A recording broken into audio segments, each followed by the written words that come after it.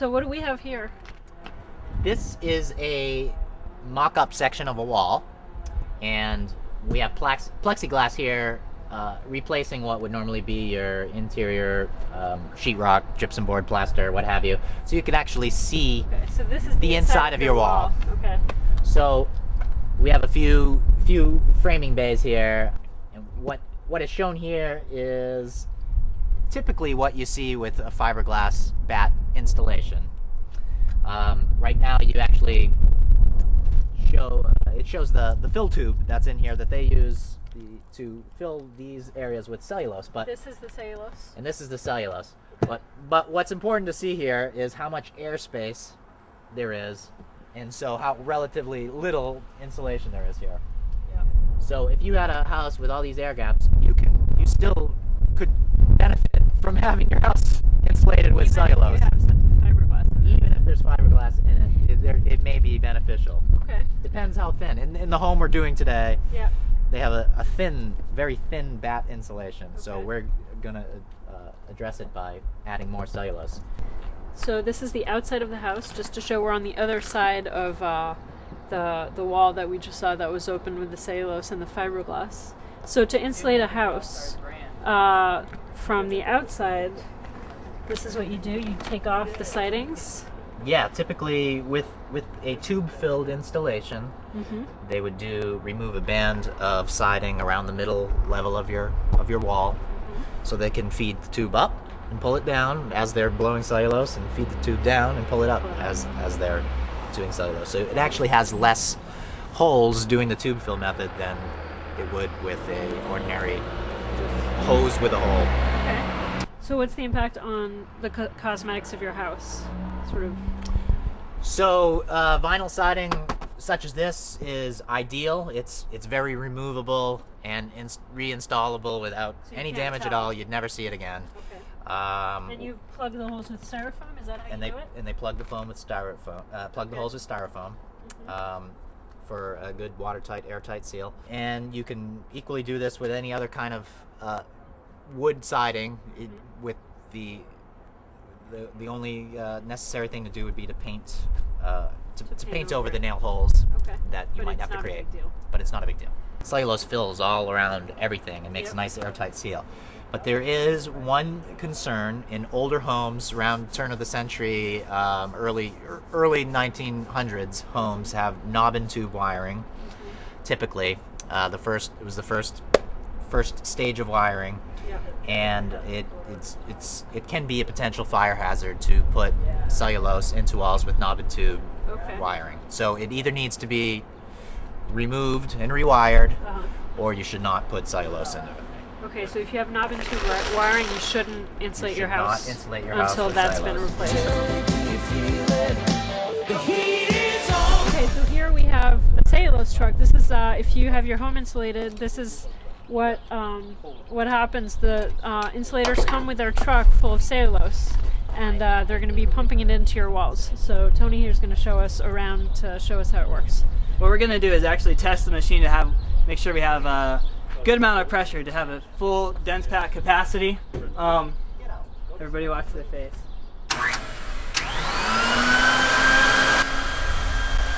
Now we have adjustable settings on the machine to to know how much pounds per cubic foot that we're applying. As long as it's above 3.1 is manufacturer's instructions, we don't blow anything below 4.0 pounds per cubic foot.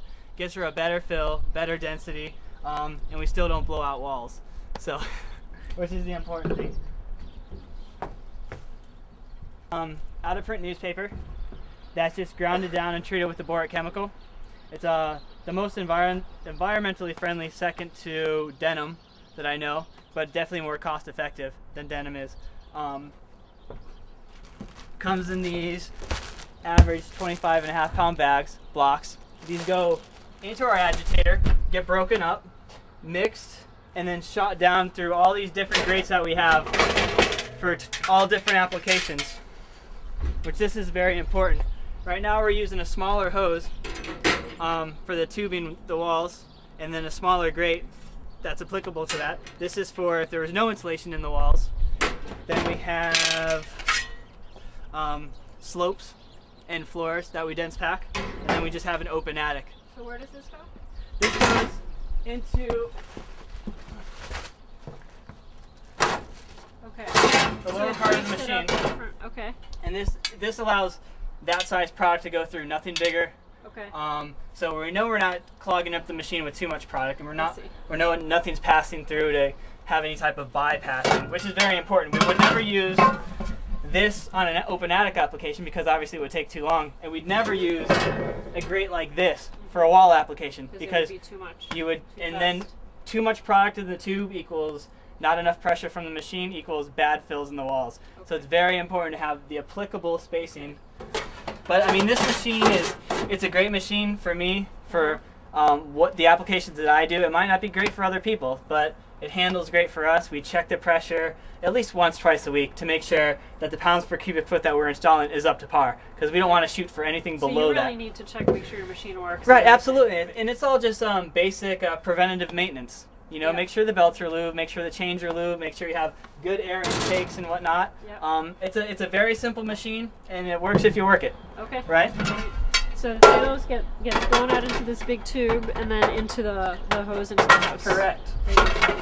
And so how long does it take to insulate, you know, your average sort of two family home in Somerville or sort of I would, ranch? I would estimate nothing less um, than a day and a half, two days. Okay. Um, basically because a lot of people are out just to do money, to fast turnaround. Um, you want to take your time. You want to do thermal scans before and after. You want to make sure every cavity is filled before you leave, which not not too many people are doing. It's just uh, um, the the contractor shows up and says, "Trust me, we'll get them all." And then before you get home from work, they're already gone, and here bill comes in the mail.